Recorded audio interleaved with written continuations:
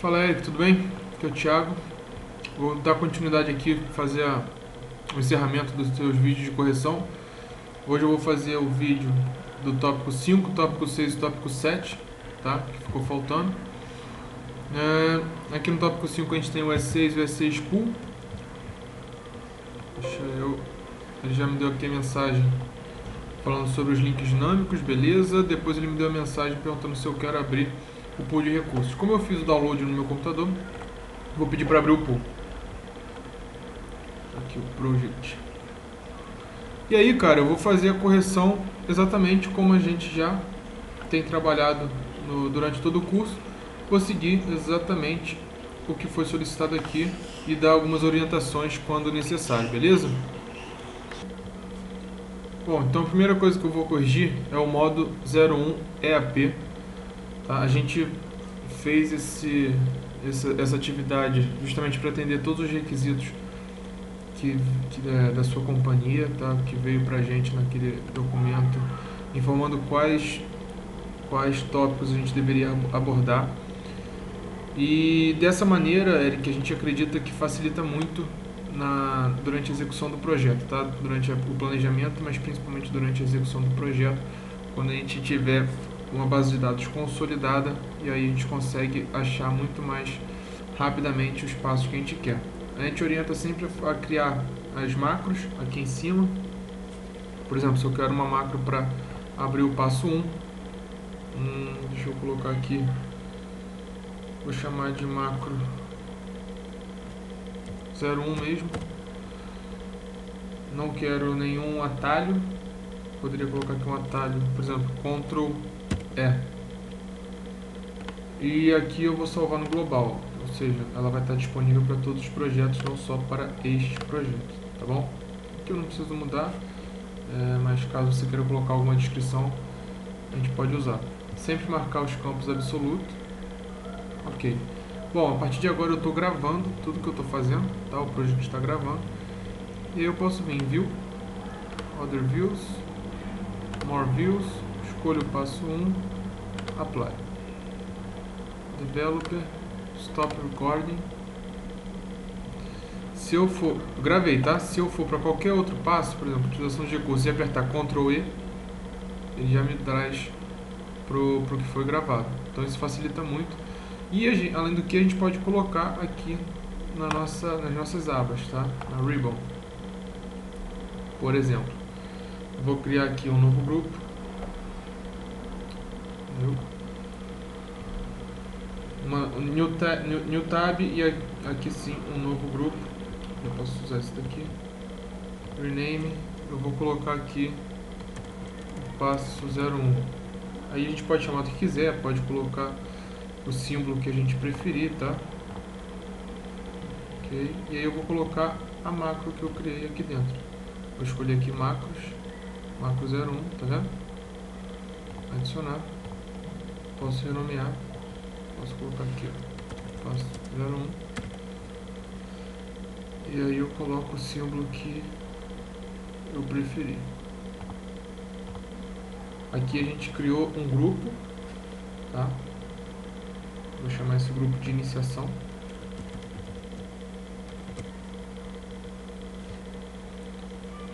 Ok, ok.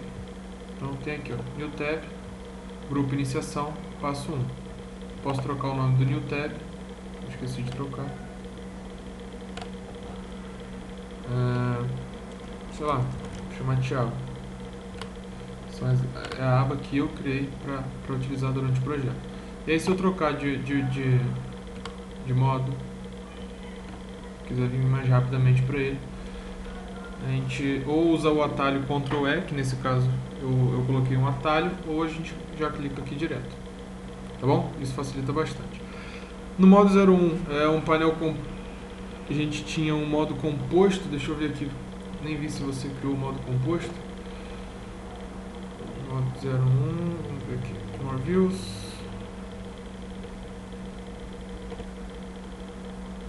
grupo e filtro não vem porque o seu projeto é em português. É, eu queria um modo composto com painel superior exibindo alguns campos.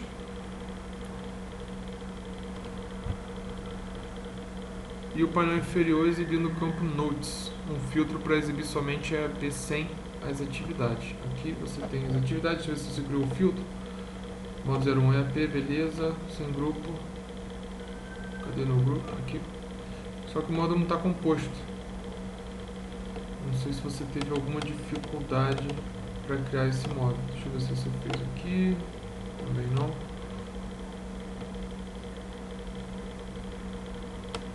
Vamos estar tá aqui.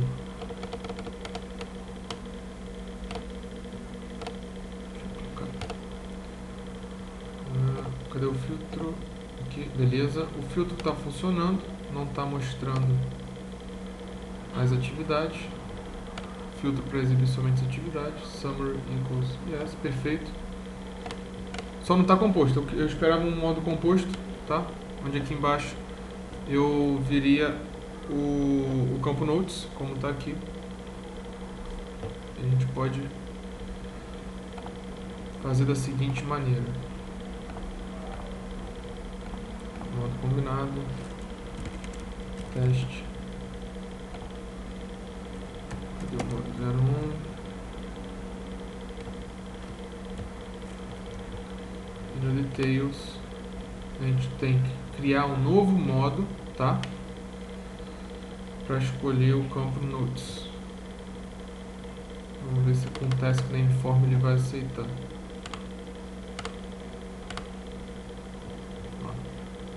Vou fechar. Vou escolher um outro passo qualquer. Vou aplicar o passo, o modo teste que eu acabei de criar. Beleza. Task form ele aceitaria. Então o modo composto seria isso, tá, Eric? Não seria só a gente arrastar o biombo aqui, como, como eu imagino que você tenha feito. Beleza? Mas tudo bem. Passo 2, desculpa, modo 2, é a atividade. Modo composto também no painel superior com alguns campos. No painel inferior exibindo o campo nodes. Mais uma vez, não tem um modo composto, a gente tem que fazer manualmente aqui. E um um Desculpa, esse não era o modo composto não, eu li errado, Eric. Esse era só uma tabela exibindo alguns campos, ID, indicators, predecessora, nome, sucessor, o flag, beleza? Se é pacote de trabalho e milestone. É um modo tipo task sheet se eu venho em More Views, editar, eu consigo ver se ele é task sheet. Sem grupo. All tasks. Ou seja, todas as atividades não tem nenhum filtro. Beleza? Modo ok. O modo 3, cronograma. O 2 estava certo, eu que tinha me confundido. É, o modo 3 cronograma, tabela exibindo alguns campos. Deixa eu ver se eu coloco início fim ok. Task calendar. Aqui a gente tem que aplicar o calendário para todas as linhas, tá, Eric? Senão o projeto se confunde aqui, ó. Vamos ver se ele vai. Aqui a gente não consegue usar igual o Excel.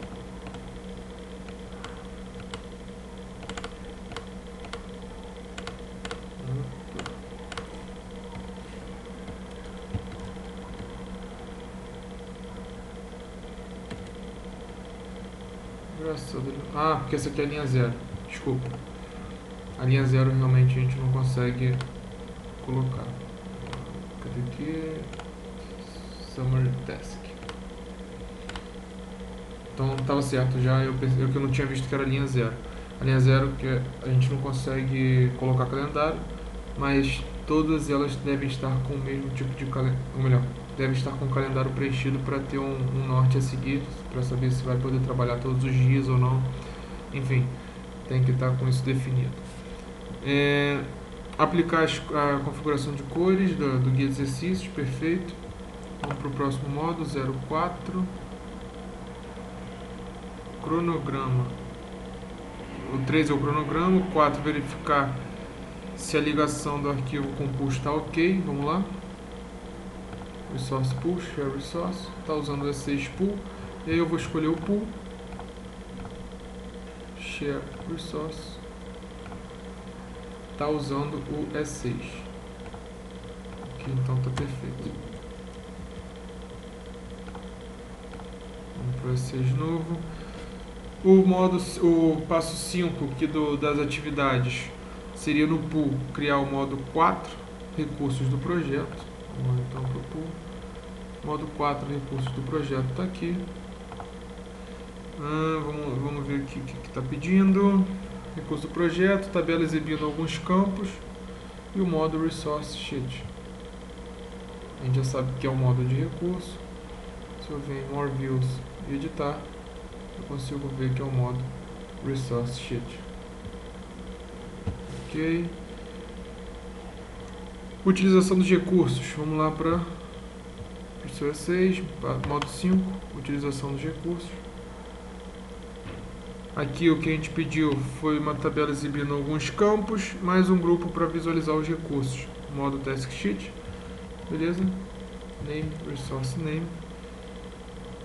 Ah, e o grupo está ok. Eu consigo ver exatamente qual recurso está fazendo é, cada atividade. Beleza? O modo 6, utilização dos recursos humanos. Aí já é um recurso específico utilização de recursos humanos. Vamos ver aqui. Tabela e filtro para exibir somente recursos humanos. Só que a gente deveria usar o resource usage. No, no, na, na, na atividade está solicitando o resource sheet. Na verdade deveria ser o resource usage. Por quê? Vou mostrar aqui.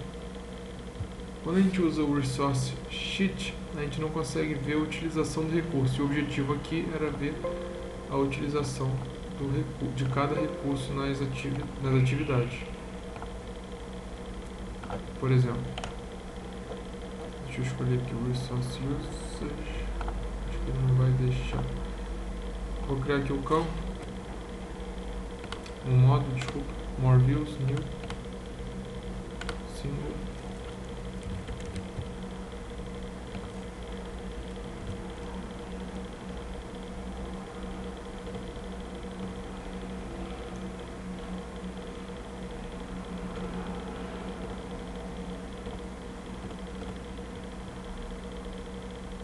aqui o 6 aqui.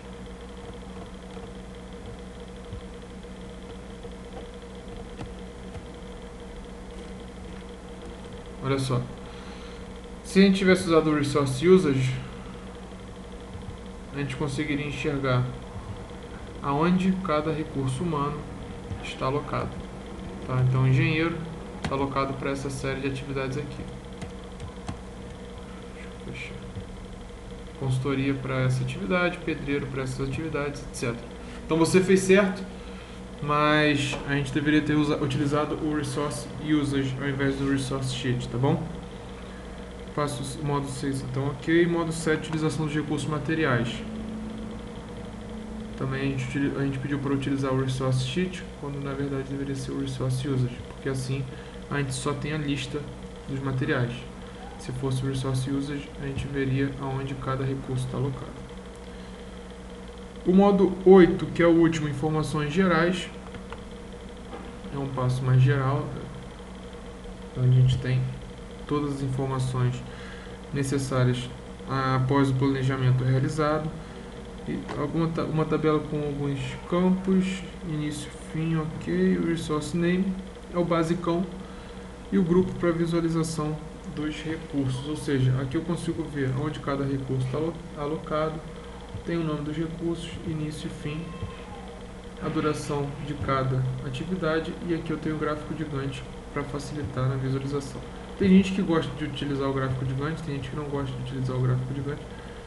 É bem pessoal, eu particularmente me dou bem com o gráfico de Gantt, não tenho problema de visualização, mas tem gente que começa a ver esse monte de seta, um monte de linha, começa a se perder. O ideal é que a gente sempre trabalhe com cronograma. Eu não vou falar linear, porque tem muito projeto que não consegue trabalhar com cronograma linear, mas tentar organizar as atividades sempre linearmente, tá? O cronograma pode não ser linear, mas as atividades a gente consegue dar uma organizada para ficar o mais linear possível. Beleza, Eric? Então essa foi a correção da, do, seu, seu, do seu tópico 5. Eu vou fazer a correção dos tópicos 6 e 7 em vídeos separados, para os vídeos não ficarem muito longos. tá bom? Qualquer dúvida, o Moodle vai continuar à disposição é, através das salas de aula. Você pode colocar lá para a gente poder discutir, beleza? Até a próxima.